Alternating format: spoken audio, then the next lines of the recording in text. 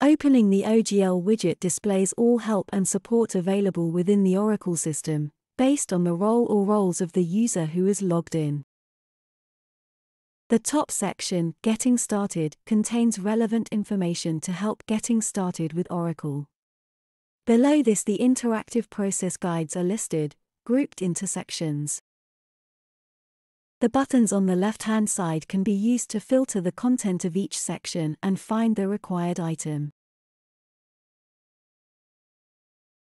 When viewing the complete list, if we scroll down we can see links to additional resources, such as training courses. For this demonstration we are going to request the setup of a new supplier, using the process guide Request Supplier Registration. Each process guide starts with the navigation from the home page to the relevant functional page. In this case, there are further instructions to navigate to the appropriate task within the menu related to supplier activities. This example contains an introductory message, which sets the scene and provides information about prerequisites, and also explains what happens after this task. The message can also be used to remind users to watch out for smart tips and flashing beacons for more detailed instructions or further information while working through the process. The next process guide step provides instructions for completing the fields in the top section of this page. Here we can see several examples of smart tips. The color has been customized so that they stand out and look different from the standard Oracle help icons, such as the one next to the page name. Some smart tips provide critical information to ensure correct data input. Others facilitate the selection of appropriate values, such as this tip on the supplier type field. Notice in this tip there is also a hyperlink to access a form that needs to be completed at this stage of the process.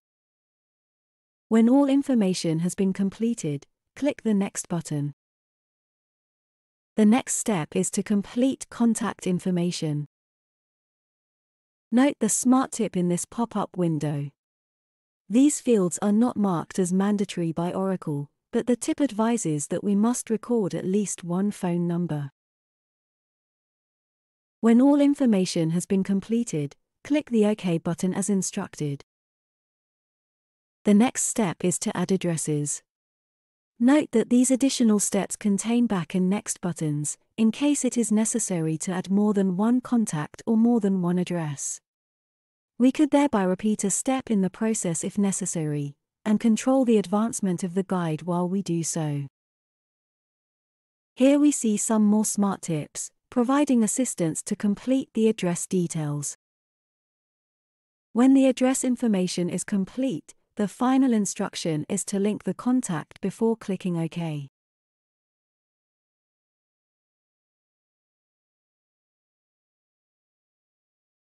The next step is to add products and services, following the instruction provided.